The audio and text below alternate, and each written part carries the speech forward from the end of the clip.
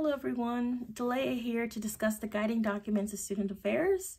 So essentially the guiding documents of student affairs are multiple statements proposed to guide student affairs practitioners with their work within universities and colleges. Um, each document reflects the era which it was created. We have the first one starting in 1937, and I want to say the last one is from the late 90s.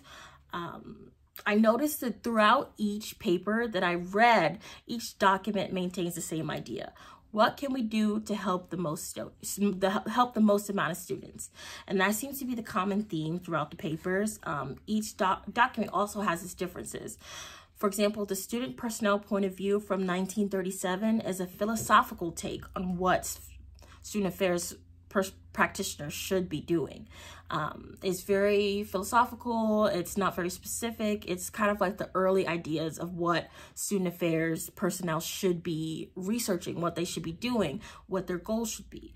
And then um, in the Hazen Report from 1968, we see the narrative of higher education um, switch we see it becoming more diverse. We have the civil rights movement heavily impacting um, higher education. We have the economy. We have the, uh, what was it, McCarthyism also negatively affecting higher education.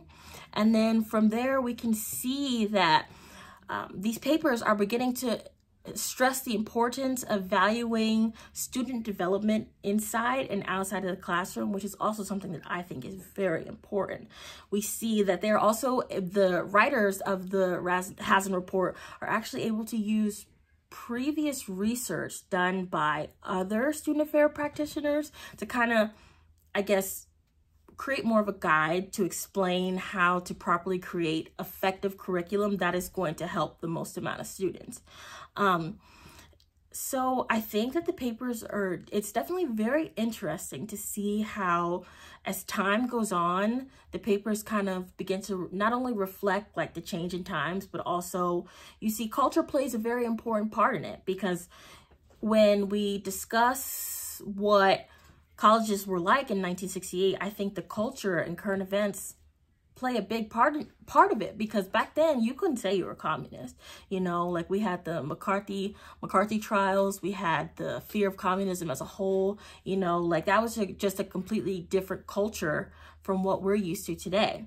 And their papers reflect that. And then we see in the later ones where we have technology introduced, where practitioners start to begin to understand that technology can be used as a tool to help students acquire education and something that should definitely be included in the curriculum because it's important for students to learn how to use electronics to learn, especially since because electronics are such an important part of American culture today. It's definitely a very essential part.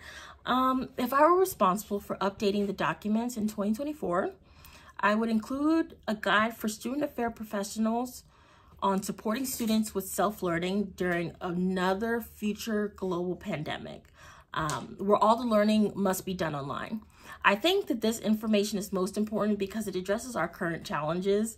We recently dealt with COVID-19 where a lot of learning was online. I know I personally began college in 2020 and I finished high school in 2020. So that was a very difficult time to be a student and I was two kinds of students. So I definitely understand the um, importance of student affairs practitioners understanding that yes, self-learning is a part of um, learning, but that doesn't mean that they are have nothing to do with it. I definitely believe that like student affair practitioners should be directly involved with online independent learning. Um, I believe that this ensures that students receive an education tailored to their experiences. Uh, so the culture of campus plays a crucial role in shaping academic institutions, which can result in significant differences between universities. This culture should influence student affairs to create an environment conductive, conducive to effective learning. Each campus has its own unique culture and teaching styles, which are based on different cultural backgrounds. This ensures the students receive an education tailored to their experiences. And I think students having an education tailored to their experience is incredibly important because the different cultures are going to affect the way that students learn.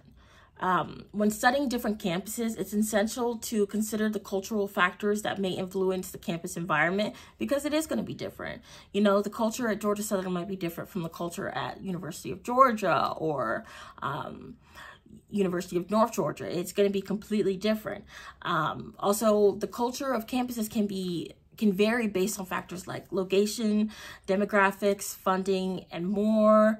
Um, each college has its own unique culture, and the curriculum should be designed to cult to be culturally relevant to each university. So I definitely think that culture is something that plays a very important role in student affairs planning and other many other aspects of education. Thank you.